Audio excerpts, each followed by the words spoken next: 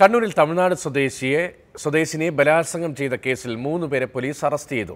കാഞ്ഞങ്ങാട് സ്വദേശി വിജേഷും തമിഴ്നാട് സ്വദേശി മലരും മൂന്നാം പ്രതി മുസ്തഫയുമാണ് പിടിയിലായത്. ഓഗസ്റ്റ് ഇരുപത്തിയേഴിന് രാത്രി ജ്യൂസിൽ ലഹരി മരുന്ന് കലർത്തി ബലാത്സംഗം ചെയ്തു എന്നാണ് കേസ്. സി കെ വിജയനാണ് വിവരങ്ങളുമായി.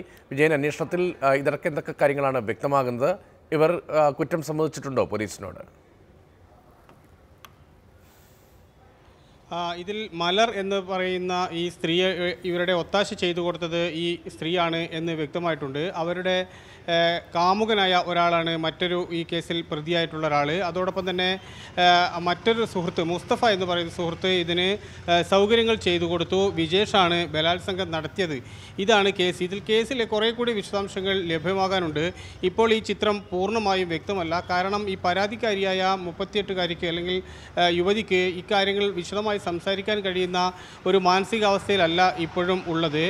മദ്യം വാങ്ങിക്കൊടുത്ത് അത് നിർബന്ധിച്ച് കുടിപ്പിച്ചതിന് ശേഷം ക്രൂരമായ രീതിയിൽ ബലാത്സംഗം ചെയ്യപ്പെട്ടു എന്നാണ് പോലീസ് മനസ്സിലാക്കിയിരിക്കുന്ന കേസ്. ആ കേസിൽ മുസ്തഫയും വിജേഷും ചേർന്നാണ് ബലാത്സംഗം ചെയ്തത് എന്ന നിലയിലാണ് ഇപ്പോൾ കേസ് രജിസ്റ്റർ ചെയ്തിട്ടുള്ളത്. ഈ സംഭവം പരാതി വന്ന ഉടൻ തന്നെ മലരും വിജേഷും മുസ്തഫയും ഇവിടെ നിന്ന് മുങ്ങുകയും. ഇന്നലെ രാവി ഇന്നലെ രാത്രിയോടുകൂടി ഇവരെ തമിഴ്നാട് നാമക്കൽ എന്ന സ്ഥലത്ത് വെച്ച് പോലീസിന്റെ പ്രത്യേക അന്വേഷണ സംഘം കണ്ടെത്തുകയും ചെയ്തു.